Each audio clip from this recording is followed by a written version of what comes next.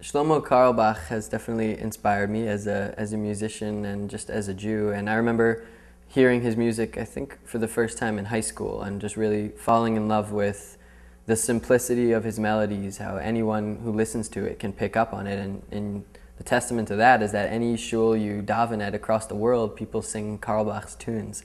And he wasn't driven by the success or trying to get himself out there. It was really to connect to people.